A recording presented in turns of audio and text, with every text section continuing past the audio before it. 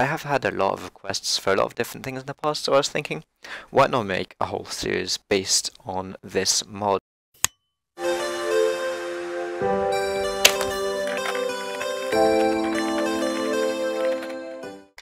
In this episode, I'm just going to be showing you guys how to install this mod. So I've got a fresh version of Minecraft running. Once you have the launcher open, you go into your installations and you have the latest snapshot here. You want to go in the 1.12.2. You can put your game directory somewhere, it doesn't matter, your resolution, you can set it. But I like to go in my, as soon as I create a new installation, I always go and set it up to 4 gigabytes of RAM, just so that I don't have those lag spikes later on in the game. But only do this if you have enough uh, RAM on your PC, so you know what you're doing. Uh, if you have 4 gig of 6 gig of RAM, don't set it at 4. Uh, if you have 6 gig of RAM, at least set it. Uh, 2 gig is absolutely fine. But with all the recent optimizations of the game, I don't think this is necessary, but it's an old habit that I've kept, especially for the older versions of the game.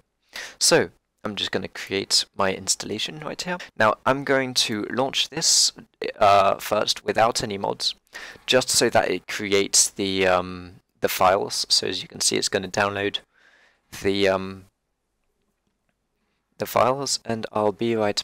I'll be back to you when it's finished. Once Minecraft is launched and you have all your files, you want to close close Minecraft and go ahead and.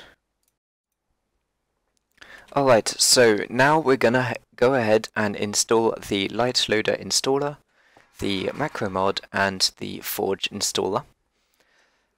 So I will put the links down below for the Forge installer.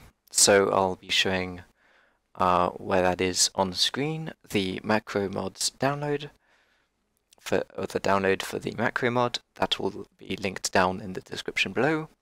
And also linked down in the description below will be the LiteLoader uh, installer.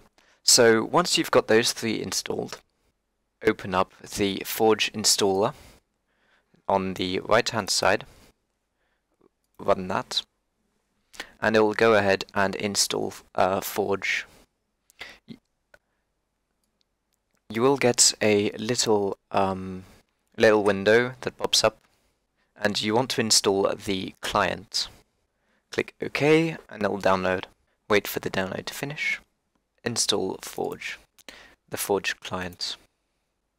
So Forge will add the um, client to the um, to the .minecraft folder. Then you want to go ahead and run run the launcher. Here we go with the Forge, so that you're generating files. Alright, so once you've launched Forge, you should have a mods folder. So now all you want to do is open the LiteLoader installer and run that. Alright, so now that you have LiteLoader opened up, you want to go in here and select the Forge profile that you've just downloaded. You want to expand from this profile 1.12.2 Forge and go ahead and verify the information and click OK. So now when you're in the Minecraft launcher you should have this here if you don't, go inside your installations and make sure it is in there. So you should have Forge and LiteLoader with Forge. So you want to go ahead and just play with that game.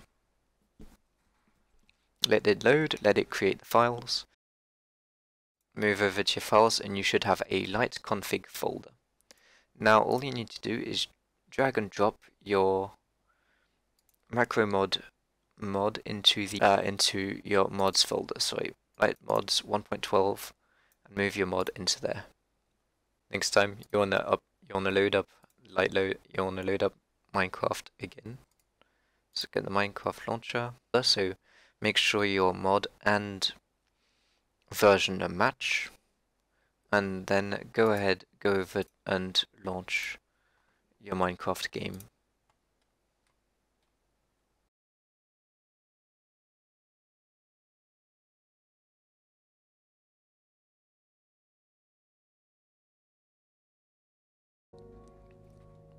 Alright, you will know that you have successfully downloaded your game when the macro keybind mod uh, window appears over here. So now that the mod is installed, I will go ahead in the next episode cover the basics.